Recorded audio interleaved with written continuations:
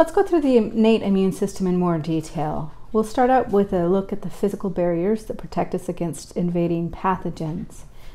These barriers include, uh, actually, I'm going to start at the bottom here. They're going to include the stratified squamous epithelium, which makes up our uh, skin, our outer layers of skin, um, multiple layers of epithelial cells, and keratin connected with desmosomes. If you think back to the beginning of the semester, when we talked about cell adhesions, desmosomes were some of those adhesions. They're very tight, very strong adhesions. And so we've got these multiple layers of cells uh, with connective tissue. That's basically what keratin is. It's proteins. And these fibers that are quite hard, keratin um, is what's responsible for our fingernails, for example. And uh, together these create quite the barrier to protect us. In addition to the stratified squamous epithelium, we of course have the secretions that are produced by that epithelium and by the glands contained within that epithelium, the sebaceous glands which secrete the oil, and the sweat glands which of course are releasing uh, fluid with salts and so forth. Each of these secretions can contain um, bactericidal chemicals, which will, of course, disrupt the bacteria, possibly make it um, difficult for that bacteria to remain on the skin or even to survive, as well as destructive enzymes such as lysozymes that are found in these secretions. We'll add to this list tears. Uh, tears, especially, contain an abundance of lysozymes to protect the delicate mucous membranes of the eyes and can even contain antibodies. The hair, not that we have a lot of it, we're not not uh, as hairy as some mammals, but the hair provides protection against physical abrasion and uh, also protection from insects and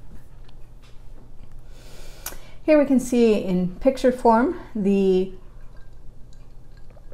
physical barriers that protect us. We have, of course, here's our hair, lovely hair, and uh, the keratinized cells. And then below that keratinized layer of cells, the epithelium, um, additional epithelial layers and the desmosomes connecting those. Here's a sebaceous gland. You can see that will secrete the uh, sebum, that's what we would call the oil, onto the surface of the skin and our sweat glands and our hair follicles and so forth. Additional to the physical barriers is the epithelial lining of the various um, digestive, respiratory, urinary, and reproductive tracts. In the airways of our lungs, for example, we have a setup like this where we have our um, ciliated epithelium. Now remember, the lungs are the only place really that have epithelium uh, in addition to one other place, which is the fallopian tubes in the female. These cilia beat uh, like the oars of a boat in a rhythmic fashion.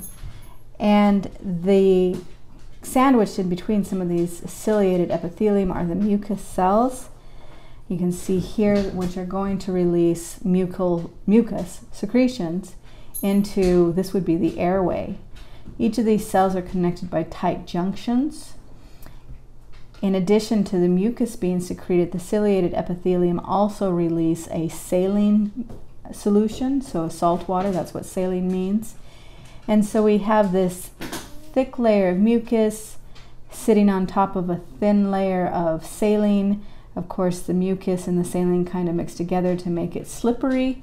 And so we've got this slippery system called the mucus, or so the mucociliary escalator. And as the name suggests, its job is to trap particles, that's what the sticky mucus does, and then to sweep those particles out of the respiratory system.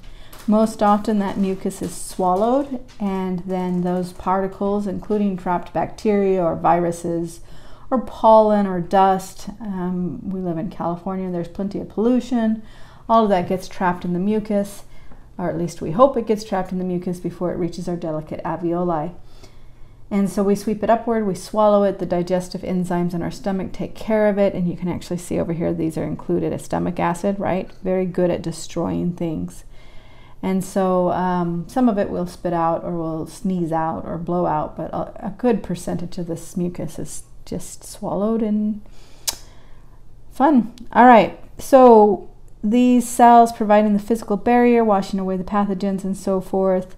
Um, these are really critical to our physical barriers in the innate immune system.